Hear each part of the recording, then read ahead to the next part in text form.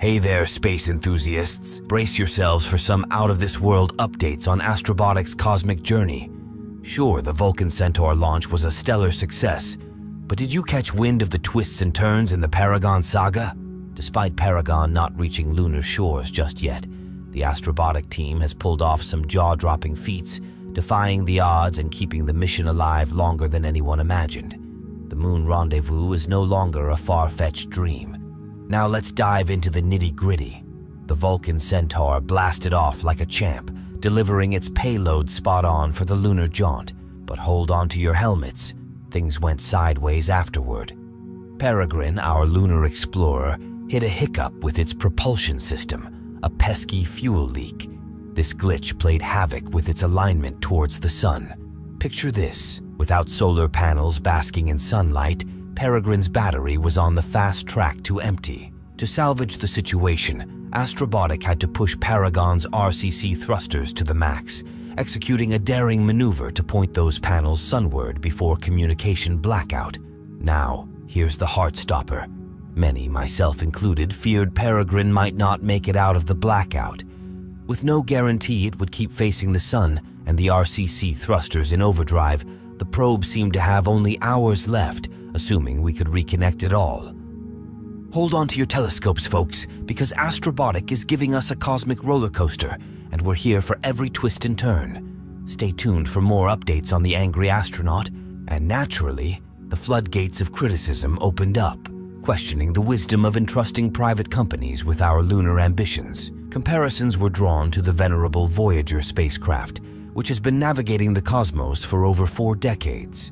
Would Peregrine suffer a similar fate, folding within four days? However, such comparisons aren't entirely fair. One significant factor, which we'll delve into shortly, sets Peregrine apart. It's crucial to acknowledge that Peregrine has defied all expectations after the initial setback. Many believed the probe would succumb to its fuel leak within a couple of days. Yet, as of this moment, Peregrine not only endures, but is actively eyeing a rendezvous with the moon, reinstating the realm of possibility. For those of us who vividly recall NASA's animated depictions of Voyager's encounter with Saturn in the early 1980s, it feels like ancient history. The notion that Voyager still thrives in the vastness of deep space is almost inconceivable.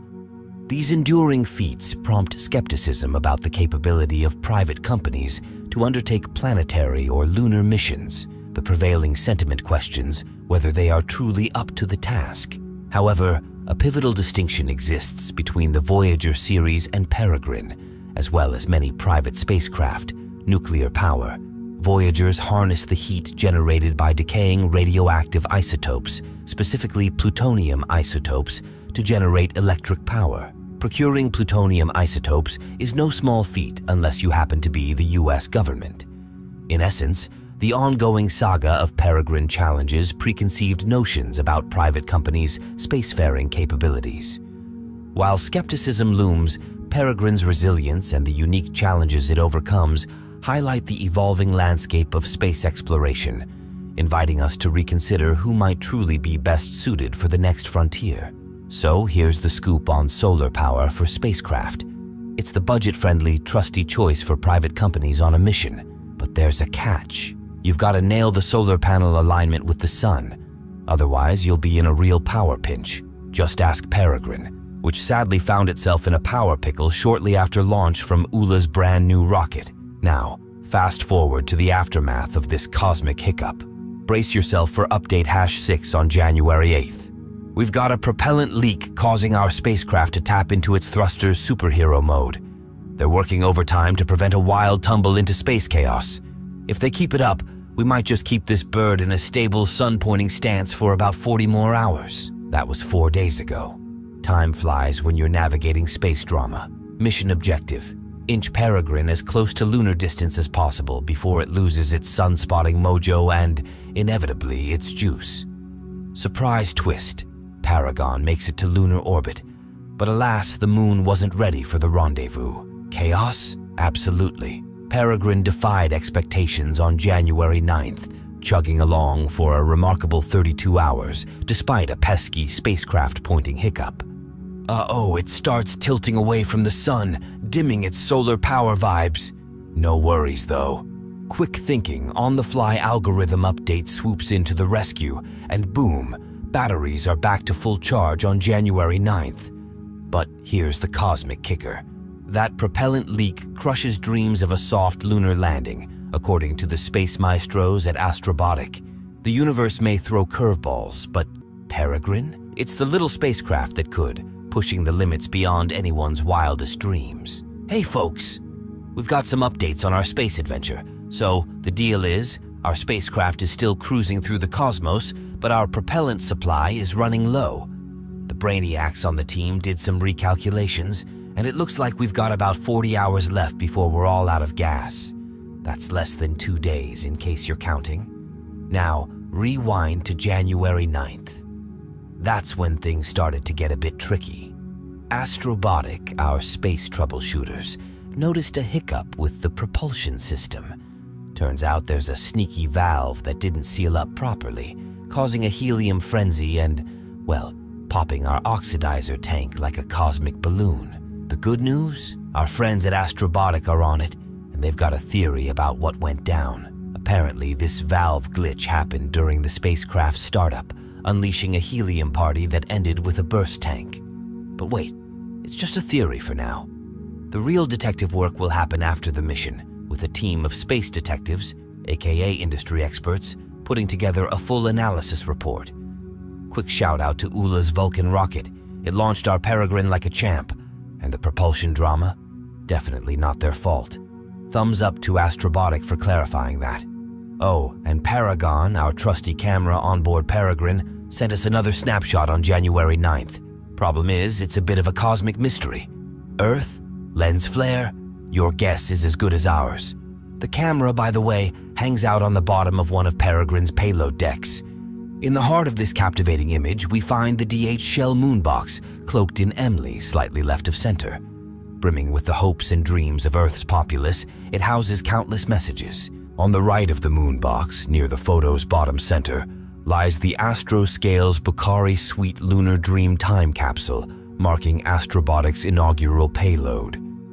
Inside are messages from children worldwide, forging a celestial connection. Shift your gaze to the bottom center right, and you'll spot the Peregrine's landing legs. One leg is partially concealed by the electrical interface, where it once intertwined with the launch vehicle. Amidst this, we receive glimpses from Peregrine, proving its operational prowess on the 10th. At that juncture, Peregrine had voyaged in space for 55 hours, reaching a distance of 192,000 miles from Earth, 80% of the way to lunar orbit. Though lunar proximity loomed, the moon was not yet in sight. Nevertheless, Peregrine adhered to its planned trajectory, executing a phasing loop around Earth.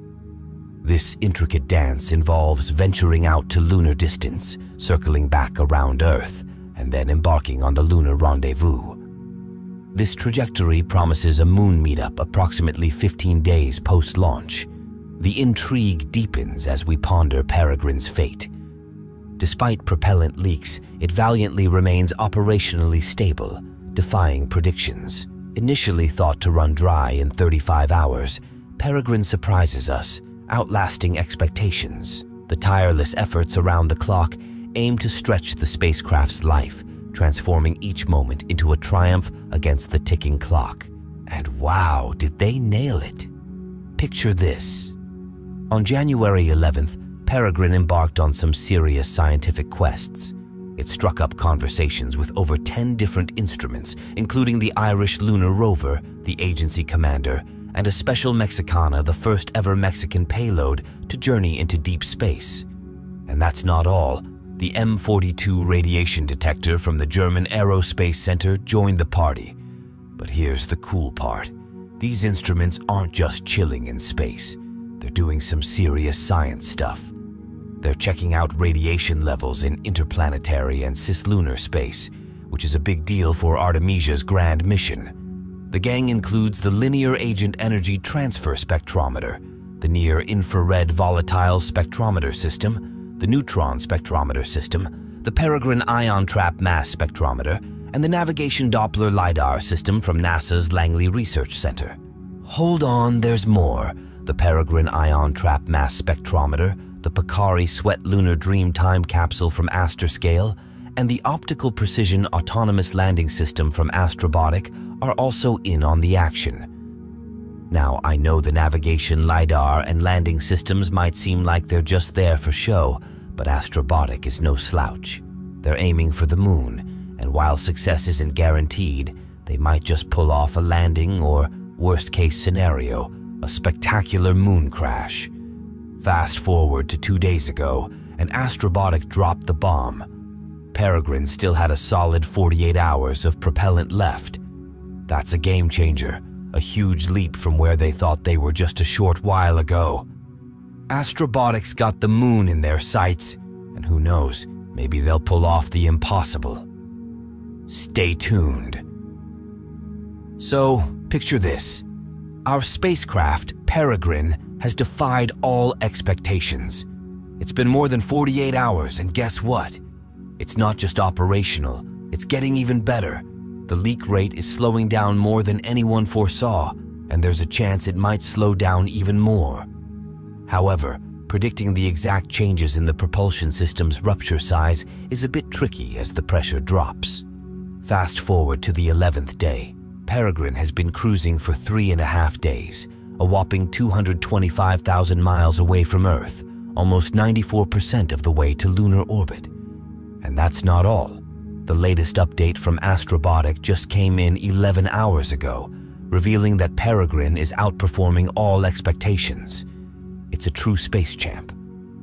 Now, it's 238,000 miles from Earth, officially in lunar orbit. The moon might be absent for a rendezvous, but here's the exciting part. Peregrine's current trajectory hints at a potential moon meetup in just 15 days, roughly 10 days from now. The catch? Well, fuel estimates suggest they might run out around that 15 day mark. Yet, at this point, who knows what's possible? Hold on to your seats because on Thursday, January 18th, five days from now, at noon Eastern Time, Astrobotic is hosting a teleconference with NASA for some major mission updates. Get this, it's going to be streamed on NASA's channels, and a handful of lucky journalists, myself included, have scored an invite. Honored and excited is an understatement, as Peregrine gracefully holds its ground in a stable configuration, and with the eagerly anticipated teleconference just around the corner, brace yourselves for another update dropping soon. However, they're easing up on the update frequency, sensing that Peregrine might continue its stellar run until January 18th. Believe it or not, a lunar rendezvous might just be in the cards, and that's not wishful thinking on my part. Let's take a moment to applaud Astrobotic for pulling off the seemingly impossible with Peregrine, despite the significant damage it endured. The resilience on display here deserves some serious recognition. Now, what's on the horizon? Who knows what feats Astrobotic might achieve in the coming days? Other lunar-bound companies, pay attention. This little outfit from Pittsburgh, Pennsylvania, is schooling us all on crisis management. Major kudos. Before signing off, a quick plea. Hit that like button, subscribe for more updates, and consider throwing some support on Patreon for early access. Shout out to my Discord supporters who got the inside scoop earlier today. Until Peregrine's lunar journey unfolds, keep that space enthusiasm alive, folks.